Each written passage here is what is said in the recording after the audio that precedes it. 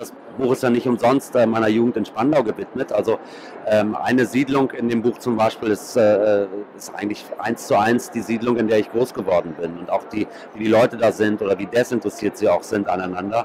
Und, ähm, ähm, und dann haben die Figuren ein Eigenleben entwickelt und Dinge äh, äh mir gezeigt oder Möglichkeiten mir aufgezeigt, was ihnen, was, was sie, wie sie reagieren oder was sie tun werden.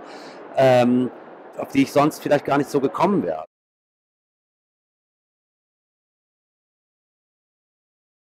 Ich habe zwei Jahre mit einer Lektorin meiner Wahl, einer Freundin von mir, mit der ich schon in meinem Comicverlag gearbeitet habe, zusammengearbeitet. Und dann haben wir das Ganze einem Verlagslektor nochmal gegeben, der für Rechtschreibung und Logik zuständig war. Da mussten wir dann, das war sehr interessant, weil der natürlich ganz jung, jungfräulich das Buch gelesen hat, gesagt, na, meinst du das ernst, Bela? Ist das wirklich so? Einige Sachen sind dann aus dem Buch geflogen, andere Sachen habe ich dann äh, ähm, verteidigt und auch, wie ich jetzt auch auf die Lesungen merke, und äh, dass das äh, richtig war. Und dann gab es auf jeden Fall, dann wurde die Fahne erstellt und die wurde dann Testlesern gegeben. Und dann hat der Verlagslektor, weil er so einen Spaß hatte, hat sich da auch nochmal eine Fahne geben lassen, auch nochmal dran gearbeitet. Und die Lektorin und ich. Also fünf Leute haben da äh, dann kurz vor Weihnachten nochmal das ganze Buch durchgeforstet. Und mir fallen aber immer noch kleine Fehler auf.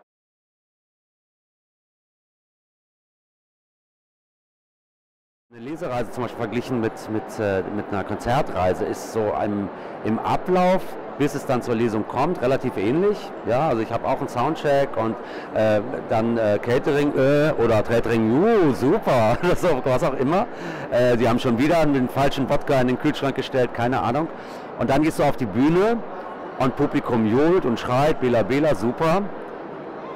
Und dann sind sie ganz still und hören nur zu, wie du vorliest. Und das ist natürlich was völlig anderes.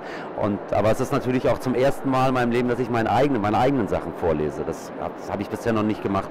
Im Moment ich, versuche ich wirklich das alles noch zu fassen, auch diesen wahnsinnigen Anklang, den das Buch äh, bekommen hat. Äh, und wie gut das gerade läuft, das ist für mich gerade noch gar nicht so begreifbar.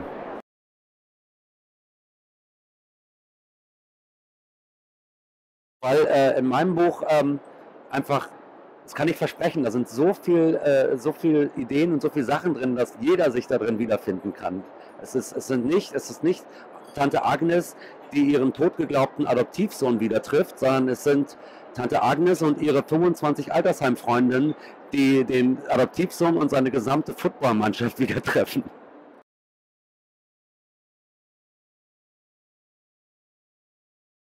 In Gütersloh, durchaus. Gütersloh ist ein, äh, eine tolle, tolles Stadt, würde ich fast sagen. nee, ich kann mir das auf jeden Fall vorstellen. Ich habe tatsächlich äh, sehr, sehr gute Freunde aus Gütersloh. Und wenn alle Menschen so sind wie die beiden, mit denen ich da, wie die, drei mit, oder vier sogar, mit denen ich da befreundet bin, dann muss ich da unbedingt mal lesen. Ich weiß nicht, ich habe da, glaube ich, mal gespielt. Ich bin mir aber nicht sicher.